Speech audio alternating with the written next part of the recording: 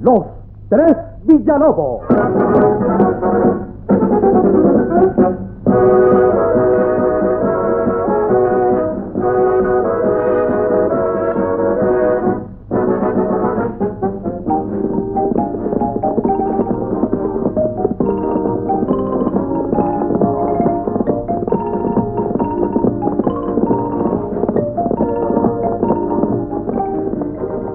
Valientes y honrados hermanos, que luchan sin descanso por lograr el triunfo del bien y la justicia. Escribe Armando Couto.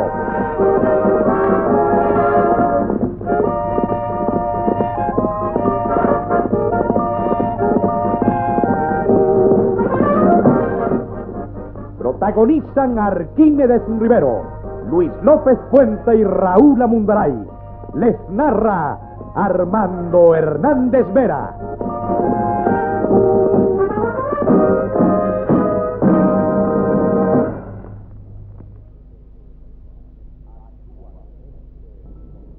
Actúan en este episodio Gladys Hernández, Ana Mercedes Escames, Paco de la Riera, Hugo de Gani, Raúl Amundaray y Luis Germán Mesa. Musicalización y montaje José Correa. Efectos de sonido Erasmo González. Y enseguida, otro capítulo de la serie La Torre Maldita.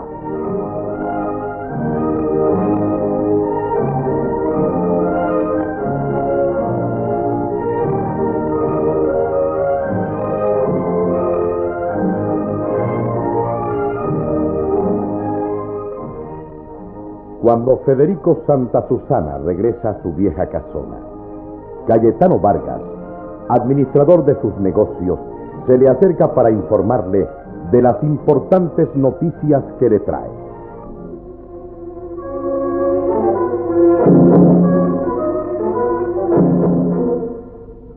Federico le escucha atentamente y luego le pregunta. ¿No habrá peligro? No hay dificultades de ninguna clase. ¿Seguro? Cuando usted quiera puede llevarlo a cabo. Cayetano. Sin problemas y en la misma torre. Y nadie comprenderá jamás la terrible verdad. Yo tengo una fe ciega en mis planes. Son tan perfectos que nadie podrá sospechar. ¿Quién va a sospechar si no hay evidencias? Y es del único modo que usted puede librarse de todos los problemas que tiene ahora. ¿Irá a la torre?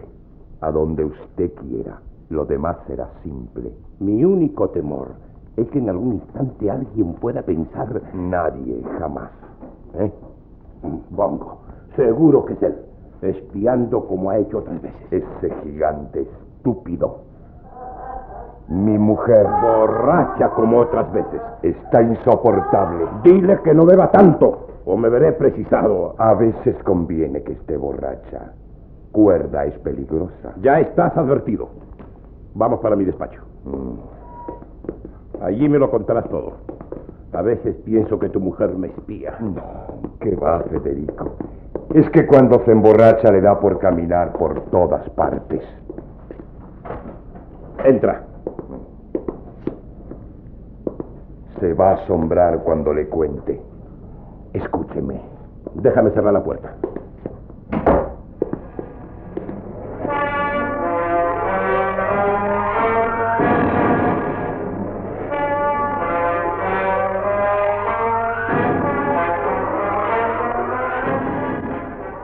Debería darte vergüenza, Estela. ¿Vergüenza de qué? De haberme casado contigo. No empieces. El amo me ha llamado la atención. No me digas. Me pidió que te recomendara que no bebieras tanto.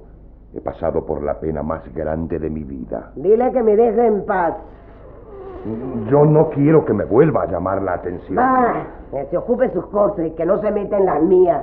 Quiero que me prometas que al menos en las horas en que Federico esté aquí, no beberás. Prométemelo. Y deja ese dichoso insecticida, ese aparato en paz. ¡Ah, déjame! Mm, tengo la dichosa cocina llena de bichos. En lugar de ocuparse de estar mandándome recaditos contigo, debería construir una cocina nueva. Bueno, ¿me vas a prometer Sí, o no? hijo, sí, sí, sí. Todo lo que tú quieras. Lo que haré es que cuando beba más de la cuenta me encerraré en mi cuarto. Y así todos quedamos tranquilos. Oh, sin vergüenza. ¿No te quieres morir con el insecticida?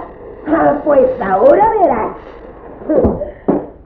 Ah, sí. Oye, ¿Qué? cuando bajes al pueblo, tráeme polvos insecticidas para preparar un pomo líquido. ¿Más? No digo yo si termino con los insectos. Y en cuanto a los ratones, deja que yo recolecte esta tarde las hierbas venenosas. Ah, tú y tus bichos, tus insecticidas y tus hierbas venenosas. Un día te vas a confundir y vas a echar esos polvos o esas hierbas en la comida y se van a morir tres o cuatro. No sería mala idea, ¿verdad? ¿Qué evidencias habría? ¿Mm? ¿Mm? ¿Quién podría acusarme a mí? Una pobre vieja borracha. Basta. ¿Podrías decir que me emborraché y confundí el orégano o el laurel con las hojas venenosas? ¿O que confundí el polvo para preparar el líquido con la pimienta o el curry? Cállate. ¿Y quién podría condenarme? ¿Eh? ¿Quién? Y a la verdad, uno o dos muertos no vendrían mal en esta casona. Estela. En esta casa de maldición, donde solo hay odio. Te he dicho que te calles. ¡Cállate, maldita! ¿Por qué te molestas tanto? ¿Es que acaso esta vieja borracha y estúpida, por añadidura, ha descubierto tus diabólicos planes? No me ha pasado ni un solo momento por la cabeza. ¿Seguro? ¿Qué estás pensando, Estela? Habla. ¿Me confías tú tus sucios pensamientos? No, ¿verdad? Pues yo tampoco. Quizás sea yo el que algún día se equivoque y al darte la medicina por la noche te prepare el cocimiento con las hojas venenosas para las ratas. No, no serías capaz. Yo sé demasiadas cosas. Y por miedo a que yo hable si descubro tus intenciones, preferirías no hacerlo. Mm, Estamos hablando por gusto. Soy un idiota al hacer caso a las tonterías de borracha que dices. Pero quedamos, mujer, en que prometes no emborracharte más, ni dar escándalos, ni provocar a Bongo el gigante, ¿ah? Bongo. Mm, Bongo. Él sí tiene quien lo proteja. Bueno, ¿me lo prometes? Ay, sí, todo lo que tú quieras, hijo, todo lo que tú quieras. Ah, pero déjame terminar de exterminar a los insectos. Ah.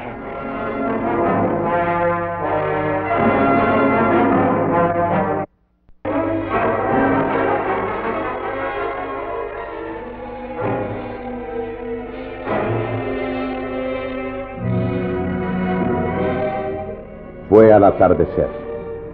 Federico Santa Susana. Cosa extraña en él. No se encontraba en la torre, sino en la planta baja. De pronto, Estela se le acercó y... Permite el amo Federico que hable con él. Si vienes a darme explicaciones acerca de tus borracheras, No, no, amo Federico. Vengo a, contarle algo muy interesante relacionado con la niña Miriam y el bobo Bongo. ¿Chismes? A lo mejor no, amo Federico. Usted se ha preguntado por qué protege tanto a Bongo. son cosas que no te interesan. Y no me gusta que los sirvientes se inmiscuyan. Llevo tantos años a su servicio que ya casi no soy una cocinera, sino una institución en esta casa. Amo Federico. La niña Miriam protege a Bongo porque Bongo es su recadero. Lo sospecho desde hace tiempo. Pero ¿qué pruebas tienes?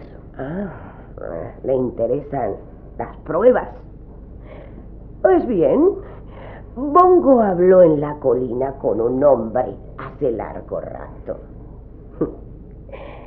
Y de lejos se me pareció a, a Braulio Castañeda. No es verdad. Bueno, se me pareció, amo Federico. Yo no digo que sea él. Después Bongo vino y habló con ella. Ella se cambió de vestido. Se puso uno muy lindo. Se peinó el pelo y se fue, dejando tras de sí una estela de perfume.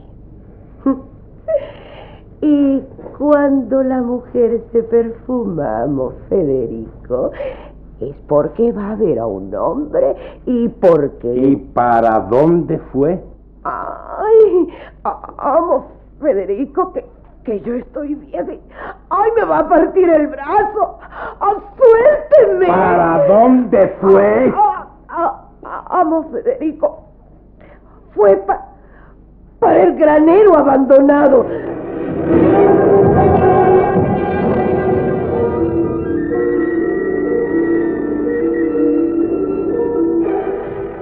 Federico tomó de la mesa el revólver y se lo echó a la cintura, como también el látigo.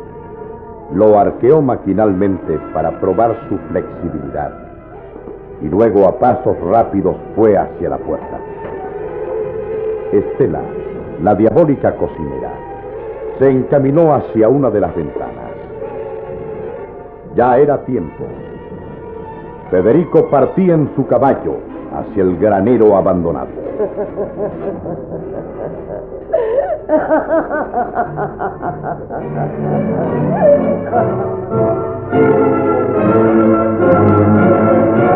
you.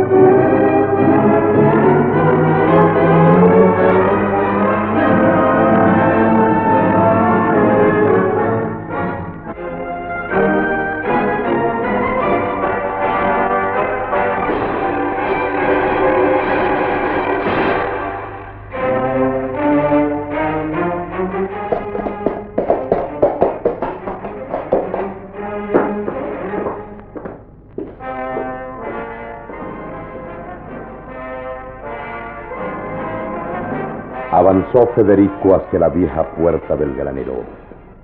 En una mano llevaba el látigo y en la otra el revólver. Estaba pálido y había en sus ojos un brillo de muerte. Empujó la vieja puerta. Nadie. Nadie. Esto me pasa por hacer caso de los chismes de esta vieja borracha. Miriam es incapaz de atreverse a tanto. En el granero abandonado, en mi propia finca, Castañeda, los mato. Los mato a los dos si fuera cierto. Los mato. Iba a marcharse, pero entonces descubrió entre la hierba reseca algo que lo dejó paralizado de asombro y de violencia. Sobre la hierba había una cinta de suave color rosado, demasiado bien conocida para él. Federico Santa Susana se inclinó lentamente y la tomó del suelo. Si alguna duda tenía, desapareció por completo al examinarla. La cinta despedía una suave fragancia del perfume que siempre usaba Miriam. ¡Maldita! La mano de Federico Santa Susana se cerró violentamente, como tratando de cubrir entre sus dedos la cinta que encontrara abandonada entre la hierba reseca.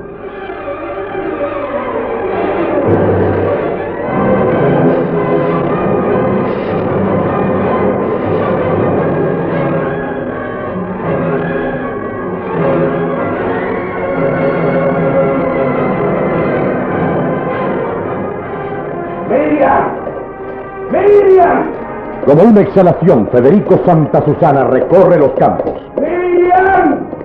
¡Miriam! Gritando desesperadamente el nombre de su protegida. El sol se hundía entre las montañas en un ocaso de sangre. ¡Miriam! ¡Miriam! La silueta del jinete y del caballo se recortan nítidamente sobre las colinas.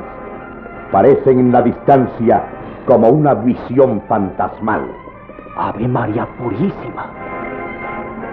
El menor de los Villalobos, que había detenido su caballo al escuchar los gritos, siguió con la mirada al jinete y a la bestia, ¡Miriam! ¡Miriam! alejándose por las colinas. Y Macho, que se encontraba accidentalmente por allí, continuó su viaje de regreso al pueblo al tiempo que, Cuando yo se lo cuente a Rodolfo y a Miguelón, se van a quedar tiesos de asombro. Federico gritando y dándole latigazo al aire. Hmm, ese hombre está loco, totalmente loco.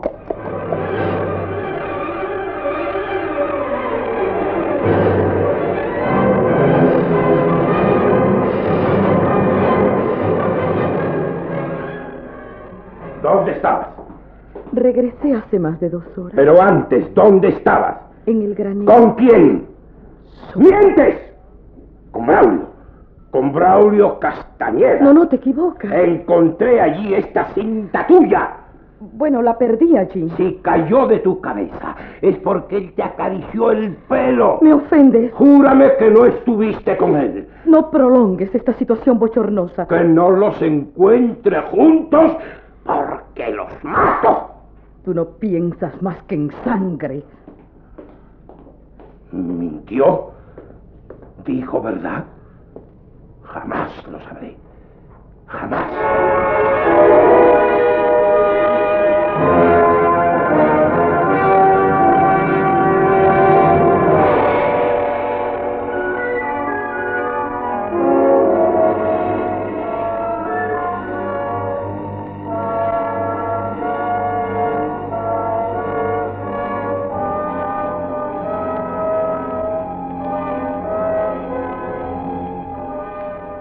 De nuevo la noche. Miriam se recogió temprano para evitar conversaciones enojosas con su protector. Federico, como otras veces, fue hacia la solitaria torre donde tenía sus habitaciones. Poco después de las diez, Estela apagó las últimas luces y la mansión quedó envuelta en impenetrable oscuridad. Miriam no dormía, tejía sueños. Pensaba en Braulio Castañeda, fuerte, arrogante, valiente. Pensaba en aquellos amores imposibles que no tenían más solución que la muerte y se sentía asustada. De pronto, un grito estridente, horrible, rasgó el silencio de la noche. ¡Es Bongo! ¡Es Bongo! ¿Qué le estarán haciendo, Dios mío?